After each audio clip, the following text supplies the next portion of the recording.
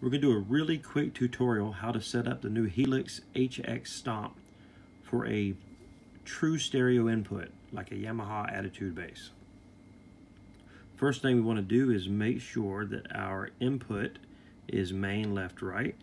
Then we'll go over and all we want to do is just insert any sort of block for now. We'll just use a distortion. Mono. There we go. Now, what we want to do is when we highlight that, hit the action button, and now we can select which path that block will be. We will assign it to path B, which now opens up this. And what we want to do is take, put it wherever we want it, and then here's where it happens, right there, the split Y. So once we have the split Y, the top line is balance A and the bottom line is balance B.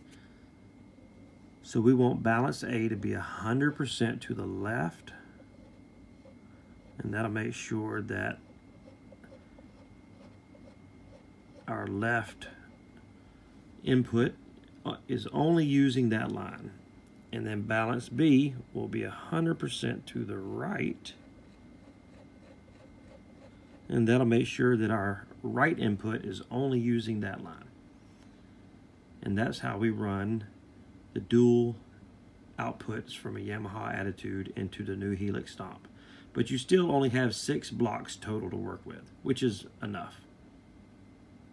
Have fun.